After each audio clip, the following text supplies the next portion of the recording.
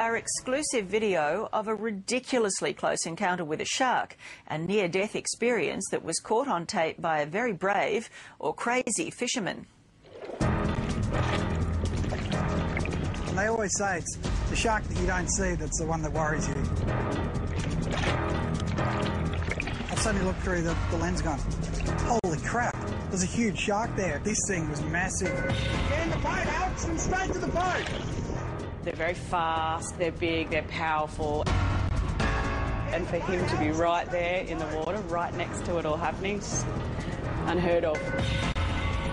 There's blood all through the water. Then all of a sudden I went, you know what? This probably isn't the best place to be hanging around.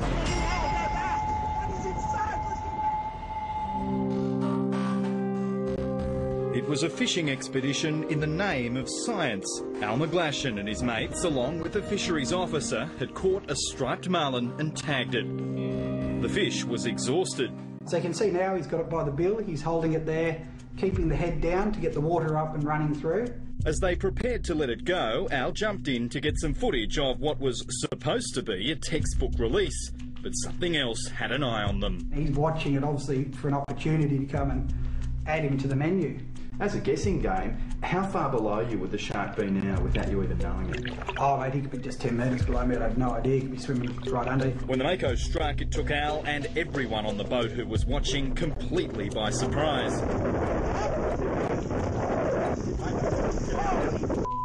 You can see the shark there. He is there underneath, coming up. And you see me stick my head up, going, oh. So this is the moment right now. Yeah, you'll see my head come up as it comes in. You know, it's like, holy crap, there he is there. You know, you can see him come in underneath. And I've looked up going, ooh, this has changed the game a bit, you know. Al was isolated and his fishing mates were in no position to help him. This Mako was a monster, three metres long and a quarter of a tonne.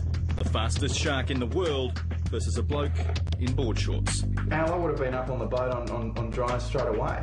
Well, that's the interesting thing because he was between me and the boat, so I probably had no option to stay there and shoot the shoot the photos as much as I could, you know. Al was metres from a monster, but kept filming and taking photos, hoping desperately that he was in fact capturing this incredible moment. I've gone, that's going to make an awesome photo. And so I'm just sitting there clicking, clicking, clicking. As quickly as it arrived, the shark was gone. You know what? There's a time when I should be in the water, there's a time when I need to get out. I thought this is the time to get out.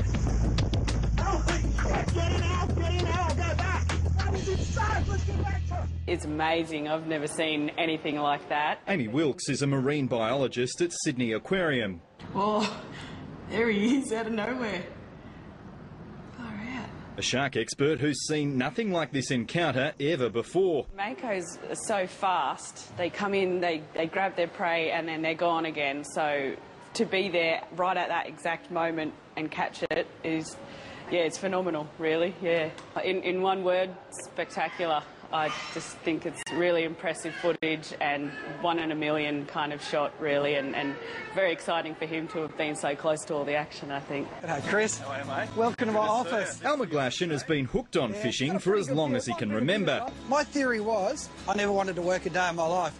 So I tried the suit and tie for a while and nah, I didn't like working for someone else. Ah! A professional fisherman, fishing writer and photographer, he's seen and done it all. Every adventure captured on his own DVD series. I've been fishing pretty much my whole life. Landing marlin and wrestling with sharks, all just a day's work. Until his encounter with the Mako, this was Al McGlashan's proudest moment. Al McGlashan reeled in a record-breaking tuna weighing 154.7 kilos. It's enough to make an already passionate angler go over the top. That is a big fish! This latest encounter bigger than he'd even contemplated before. And it's only increased our love of the water, fishing and photography. Seeing these things in the natural environment is just amazing. And out there, it's all fluid. There's nothing to look at. It's just blue background. And these fish swimming around, it's, you know, I don't know, it's a sort of excitement that you can't control, you know, just like, oh, I've got to go back. As for his family, they've mixed feelings about the danger, especially his wife. Uh, she's talking to me again, yeah, so the kids are excited about it.